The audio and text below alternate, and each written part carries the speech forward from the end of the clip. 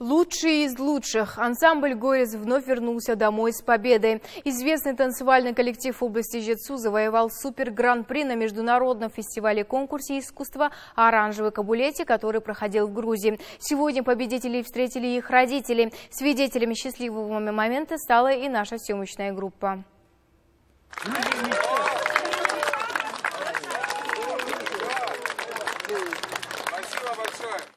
Восторженные крики «Ура!» и поздравления с победой. Родители, как и сами ребята, не скрывают своих эмоций. Члены ансамбля «Горец» с огромным удовольствием делятся впечатлениями от участия в международном конкурсе, да и в целом от поездки в солнечную Грузию.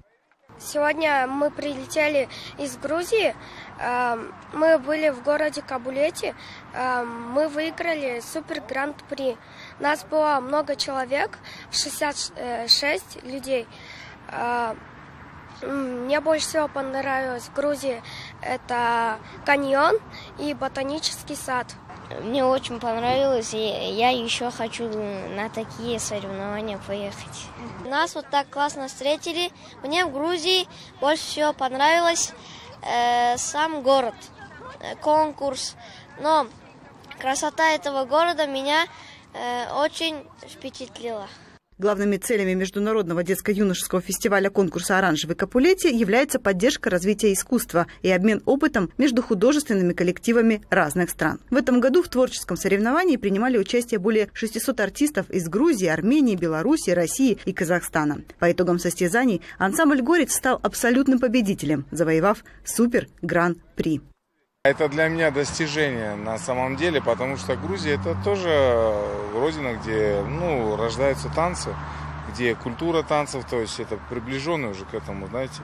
И как мои дети выступили, то есть у меня там 95% дети не э, кавказской национальности, они показали, как вообще как нужно танцевать кавказские танцы. И все зрители, все там, кто отдыхал, это курортный город, все были в шоке, как дети казахской национальности могут танцевать и показывать такие достойные танцы именно в кавказском направлении.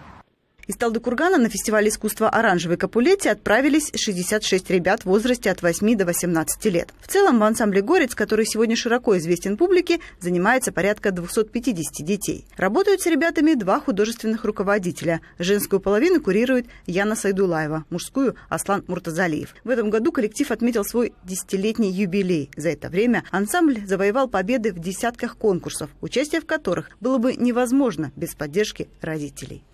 Мой сын занимается в ансамбле уже 6 лет.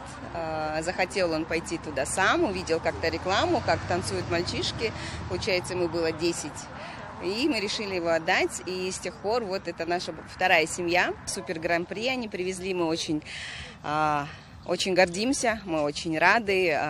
Ждали их обратно. Каждый раз э, это всегда как в первый раз. Очень много эмоций, очень много волнений и родительских, и дети переживают. Но в первую очередь я хочу сказать большое спасибо, огромная благодарность от всех нас, родителей, э, Аслан Саевичу и Яне Мусаевне, за то, каких детей они вырастили, за эти бешеные победы, за имя нашего города, за имя нашей страны на международном уровне. Я думаю, это большая заслуга. Для участников коллектива «Горец» это не первая победа в международном конкурсе. В прошлом году ребята завоевали супер-гран-при в Турции, а за год до этого покорили своими выступлениями зрителей в Узбекистане. Теперь копилку достижений пополнила награда из солнечного грузинского города Кабулети. А уже на следующий год ансамбль из области Житесу намерен завоевать сердца жителей города Грозный в Чеченской республике. И пусть конкуренция будет серьезной, родители юных танцоров не сомневаются, что ребята смогут выступить достойно и вновь вернуться домой с победой.